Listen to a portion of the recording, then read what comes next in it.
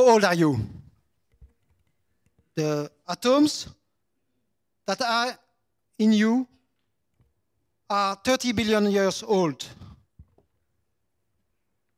The DNA in each of your cells comes in a direct line from an organism who appeared 3 billion years ago.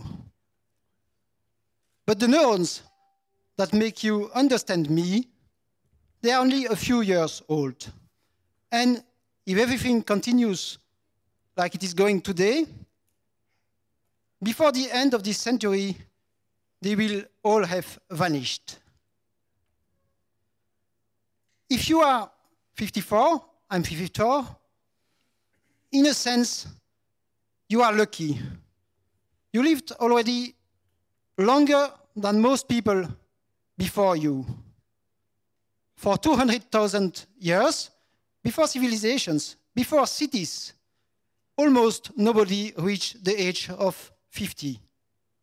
Many children died, and even less than two centuries ago, old age was the exception, not the rule. But in another sense, you are unlucky. Living twice as much as before is far from enough. We need more time, more time to live, love each other, more time to discover the world, more time to invent. And there are people who think that within 40, 30, 20 years, we could live without senescence. We could become immortal. Is this selfish? Is this naive? Is this a dream? Yes, it is a dream. We live in times of dreams becoming reality. How are we going to enhance ourselves to make life longer and healthier? Drugs. When you give to all mice in a lab or to old people, metformin, rapamycin, even the humble aspirin, they appear to live longer. And there are researchers trying to find other products gene therapies. We could transform the DNA in our cells and with stem cells regenerate tissues, create new organs. Nanotechnologies. We could create micro-robots able to destroy viruses and to replace weak cells. But there are also other uh, ways to go further. There are 3D medical printers, there, there are microsurgery. And is this going to change us? Yes, it is going to change us. Like transplantations, like uh, um, vaccinations, uh, like uh, many things that we are already doing. It's going to change us inside to make us live longer, to make us being more human. To illustrate this, I want to present you Calumma parsonii and Furcifer labordi, two chameleons from Madagascar, very similar biologically, but Furcifer lives only for a few months and Calumma lives a few years. So we could tweak DNA a little bit and change and win many years. And there are already scientists doing this with animals in labs. Artificial intelligence could help us to live longer. Being human today, it is knowing that what used to be possible only for human beings is now possible for machines. Maybe one day artificial intelligence could be stronger than us. It could be even dangerous. There are people thinking that. But it could be certainly very useful for medical progress. It could be useful to examine billions of medical data, to simulate experiments that we are doing with cells, with drugs, with animals, with diseases. And it could be useful to understand better our beautiful and complex brains and to fight against neurodegenerative diseases. Can we defeat aging? Yes, we can. Will it be easy? No, it will be very complicated. Take a look at this schema. That is how aging is working. Very complicated, but being human is doing things that used to be impossible. 120 years ago, the question was, will we ever be able to fly? And there were great scientists who said, no, it will never be possible. Lord Kelvin, you know the degree Kelvin, Lord Kelvin said in 1902 that commercial flights will never be possible.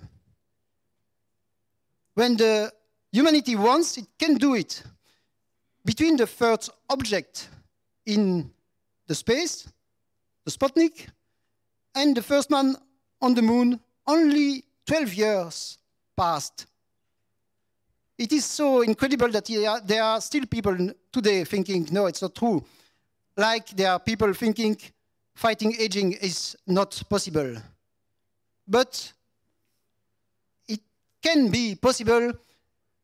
We need a paradigm shift to understand that curing aging is something possible, that aging is kind of a disease, and to know also that in the nature you have living beings who live already without senescence, like uh, some trees, for example.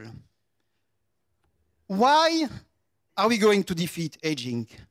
Well, for my part, I want to live at least 300 years so that at the end, I will be able to make such a speech without any French accent. but there are other more collective reasons, you know. The first is environment if you know that you are going to live very long, you will be more careful for your environment because you know that you are there, you need the planet also for very long. So to have a really sustainable world, a really ecological world, to have a really sustainable body, body for there, for very long, is important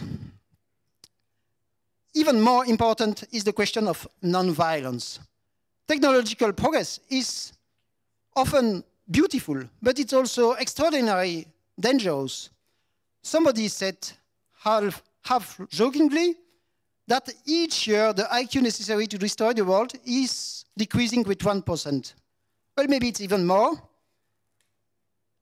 And if today, if tomorrow, sorry, it becomes possible to live much longer lives, almost without any limit. It will be an incredible crime to destroy such a, a life. Today, killing somebody is just accelerating the death because we die anyway. Tomorrow, it could be almost destroying the infinite. Tomorrow, killing somebody could become something not only unacceptable, but almost unthinkable. So, when are we going to begin to defeat aging? Actually, death of old age is something so awful that you would not wish it for your worst enemy if you could escape it. But you cannot escape it.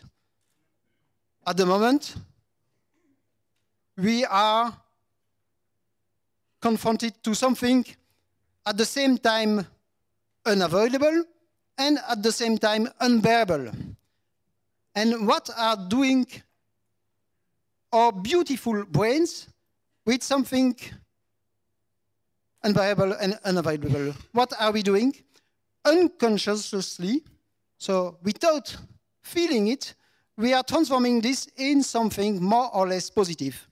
We are saying that uh, death of old age is uh, actually natural, that death of old age is something not uh, so painful, but it's not true. Death of old age sucks. and one day, it could join the cholera and the plague in the long list of evil inventions of the nature that we don't want for human beings anymore. And I have a dream. I have a dream that someday, in a not so far future, people not so different from us will take a look at us and they will say, Life then, in the beginning of the 21st century, was in a way still medieval, was still inhuman, because people had to die of old age. It was inhuman and it was difficult to fight against it for psychological reasons and for scientific reasons. It was difficult, but they succeeded. And they made us more human. Thank you.